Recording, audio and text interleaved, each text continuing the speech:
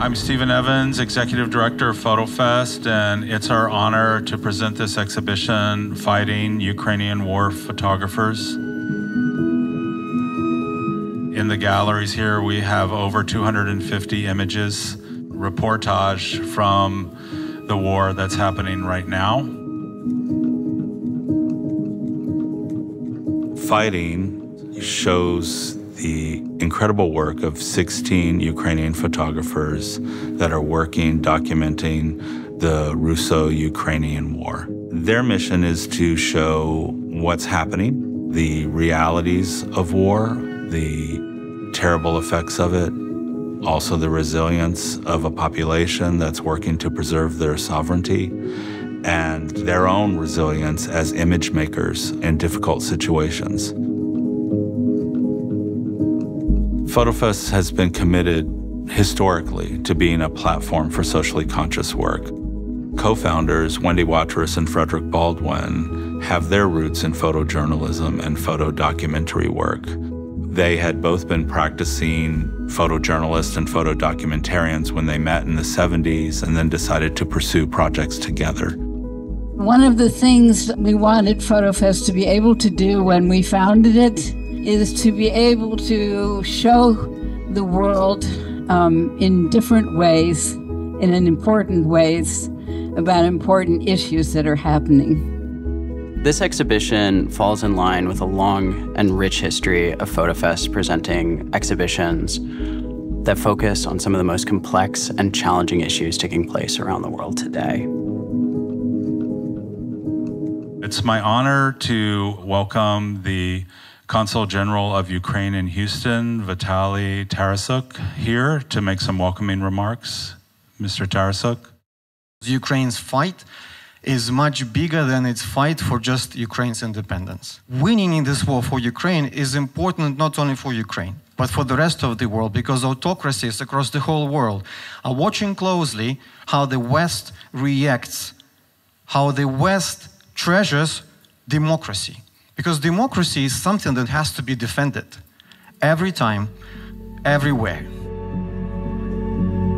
So that's why this exhibition is important. It gives you a bigger picture. Houston is home now, but my family is in Ukraine, my friends are in Ukraine, and I owe it to them to speak on their behalf here. It was earlier this week that we marked 600 days of the full scale invasion in the first days, weeks since February 24th, 2022, the amount of images in the local media, TV, local, national channels was huge. And it slowly started decreasing and slowly started decreasing. Right now, I would say the coverage is almost absent. This exhibit reminds people, not just Ukrainians, but Americans, about the loss of life, the violation of national borders, and the threat to our national security here and, you know, in the United States. What you see in these images is really happening, and it's important for us to share those stories with one another. Fighting is organized into five discrete chapters. The first chapter, The Struggle, documents Ukrainian military and citizens preparing for the invasion by the Russian military. Mariupol illustrates the effects of the Russian bombardment on ordinary citizens who are caught between two opposing militaries. Flight documents the lives of Ukrainian citizens as they attempt to find safety either in Ukraine or in other parts of the world. Life and Loss During War illustrates the ways in which Ukrainian citizens have learned to live with the war despite the fear of Russian bombardments and troop encroachments. The last chapter of the exhibition is titled Hope, and it shows the incredible resilience of the Ukrainian people to find joy even amongst some of the most destructive and terrifying moments of their lives. The exhibit is structured in a very intentional way. You kind of live through all these emotions, you know, of despair, of fear, disbelief, at some point acceptance that this is what it is now and you have to live with it. And then, you know, just glimpses of hope. What this particular exhibit does, it tells a story. It's 255 moments of life of real people. You don't scroll through that, you live through that. Ukraine united our community here. And I think that was invaluable for everyone. Everyone needed that post pandemic, the divisions. And I really, really want Ukraine to continue uniting us because we have a lot of things to be inspired by.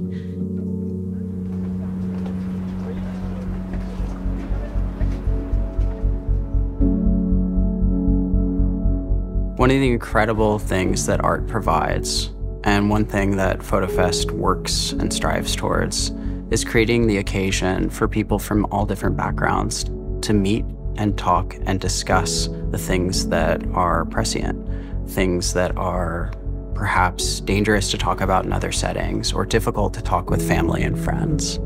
We hope that our audience and the general public can find FotoFest a safe place to discuss what is an incredibly difficult subject.